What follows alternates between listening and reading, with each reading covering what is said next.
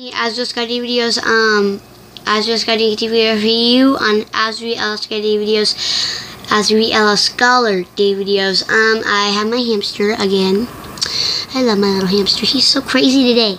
Um, I'm gonna go ahead and tell you a couple things you can do if you have a hamster or if you're gonna get one. So, um, uh, some of the things you need is a cage, of course, fluff to go at the bottom of it, so comfort. Um, maybe some toys. You should probably get him some toys, treats, food, of course, a water a water dish, um, some water. Of course, you need a hamster for all this. Um, it would be fun to have a ball for him, treats, um, food. Like you can give him vegetables and stuff. Um, make sure you take him out once in a while and stuff. And like here's a way that we're training my hamster. He is trained already. Like uh, like to not bite us is when we reach into his cage we give him a treat every time so he gets used to us and he knows something's good's gonna happen.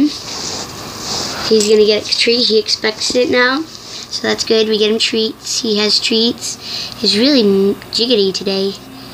And I don't know why but my hamster likes to go through my hand my between my fingers. So yeah. Um Another thing is uh, that you don't need to clean them. They clean themselves. Um, just like cats, they clean themselves. And uh, another another thing is they. This is an interesting fact. I didn't even know this. The way they drink, they don't lick like cat. They don't like like if they have a watering bowl, they don't like lick it with their tongue. They actually slurp like. So I thought that was pre pretty interesting to know. And um, just because it has red eyes doesn't mean it's scary or evil and stuff. Just the way it was born. My hamster, one of my counter, and there's a Cocoa Puff right there. He ate it. Make sure your hamster doesn't eat that because it might not be good. But vegetables and fruit, they can eat that. Um, so yeah.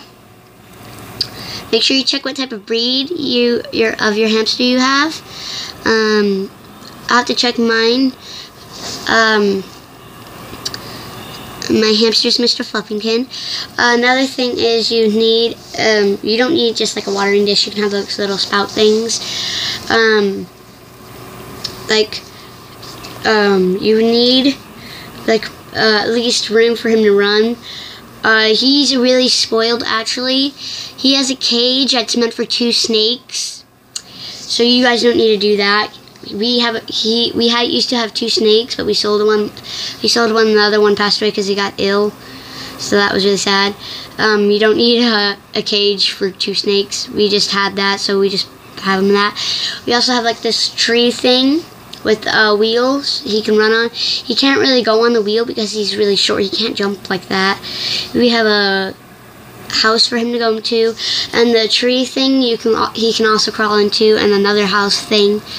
Um, he burrows into the thing. He burrows into his shavings, whatever you call it. Um, so yeah, he's very wiggly today. Aren't you, Mr. Fluffington?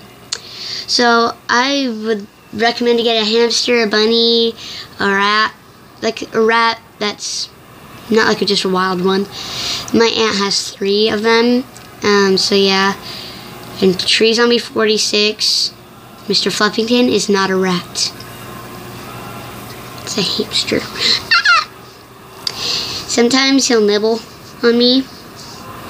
Um, another thing you might want to do for your hamster is like get him some toys and uh, like we have like paper towel rolls, paper towel like the um after all the things gone, uh, the the cardboard part we have that in there so he can crawl through that and toilet paper rolls as and the cardboard part of the toilet paper roll. We have that for him too.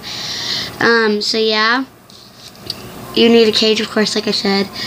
Um, just make sure your hamster's friendly. You don't want to accidentally get a non-friendly hamster or you could like train it or something like that. Alright so I have to get on my glasses real quick. Alright so there we go. These are real by the way. Um so yeah, make sure you don't get like make sure a cat doesn't get your hamster or something like a cat. Um, my hamster is terrified of my dog, and my dog is terrified of my hamster. Not as not not as much as Mr. Fluffington's terrified of my dog though. She's like, "What the heck is this, my dog?" To Mr. Fluffington.